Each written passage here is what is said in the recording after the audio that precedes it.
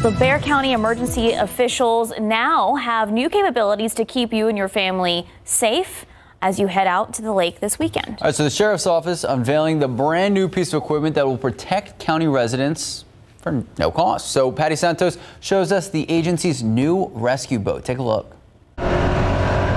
We're able to patrol every square inch of our county whether on land or on water, and we're happy, happy to have it. Bexar County Sheriff deputies will have eyes on the water this weekend. This new rescue boat is the first of its kind for BCSO. Oh, from a first responder's perspective, you, we don't want to be sitting here on the shore helpless while somebody's sinking. Earlier this year, Sheriff Javier Salazar put out a call for help after county commissioners denied his funding request to buy a rescue boat.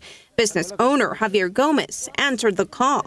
He donated his barely used 2006 vessel, estimated at about $20,000. Now that uh, we have no use for it, I mean, why have it? Might as well just give it, donate it to somebody that's going to put good use to it and then save lives. Local business donors chipped in several thousands more to the Bexar County Sheriff's Foundation to equip the boat and pay for its maintenance. This comes at zero cost to Bexar County taxpayers. The boat will be stored at Bexar County ESD 10 and will be loaned to other emergency crews as needed.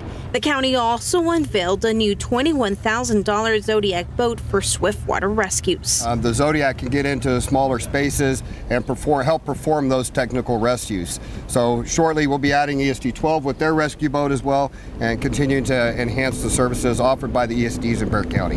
Patty Santos, KSAT 12 News. Well, the sheriff says the boats will primarily be seen around Braunig and Calaveras Lakes.